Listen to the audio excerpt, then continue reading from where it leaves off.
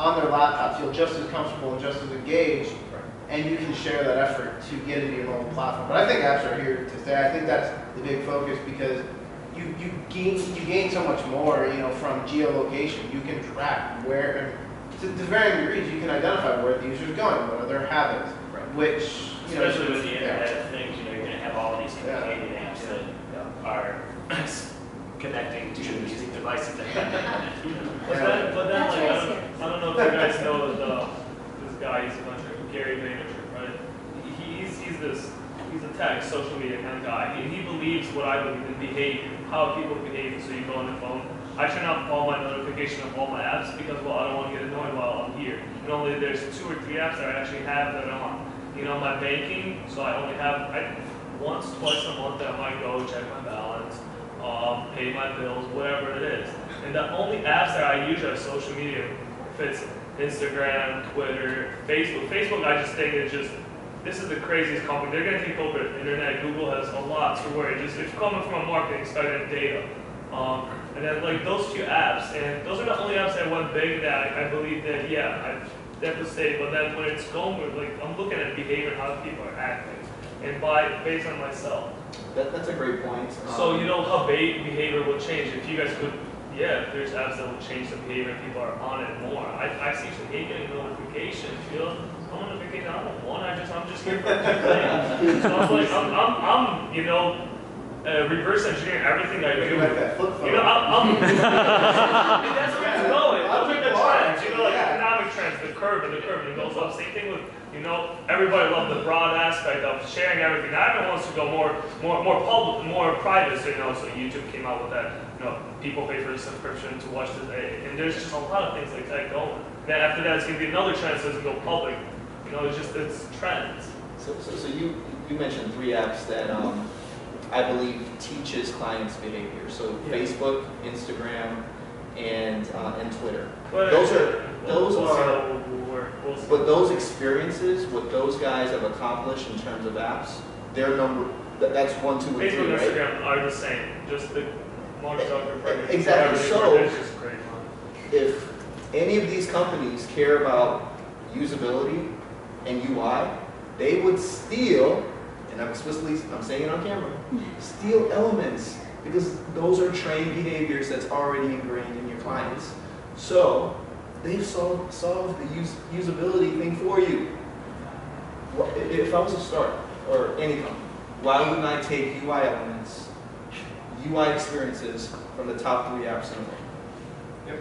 Yeah, but then compare, let's say compare Facebook's apps to their mobile, like, uh, just go on the internet, you know, on your iPhone, right? Nobody uses You know, yeah, but they're kind of similar, you know, I'm them, well, this is really, for UI, it's like, okay, this here, this, they're just really similar alike. Yeah. And they're really good at Very doing well that.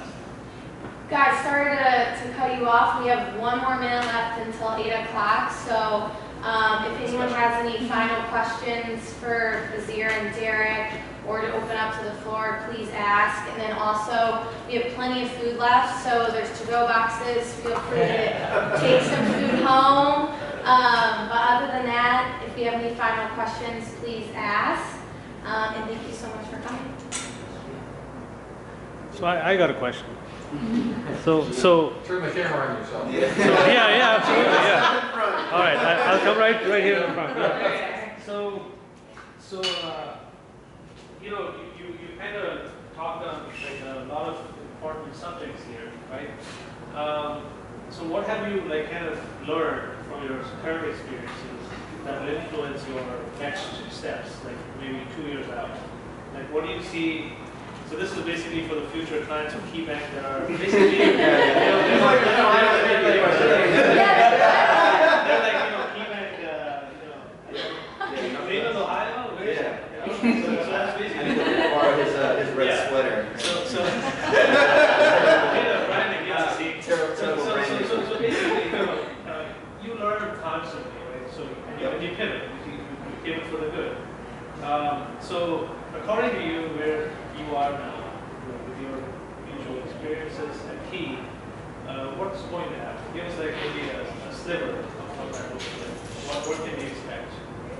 Uh, sure. In so I'll take your um, questions in two parts. So one is, and it doesn't apply to, to Key, but any company that you go in, don't let the culture change you, change the culture, right? Because you are stepping into an organization where you're bringing something that's very creative that you have brought from somewhere else.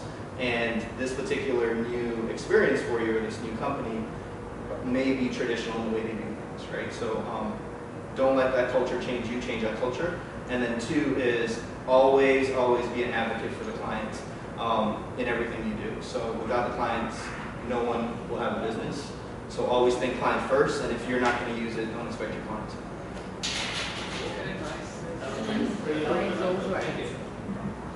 I'd like to answer that question. Yeah. Yeah, I feel like not only Key, but every place I've worked at, um, it re, it's really, I find that it's most important to have a process, and even if the place that you're going into has a different process, and they really don't want to change, you should push for something that you feel is a little more efficient, and then through pushing that, maybe that alters your process as well.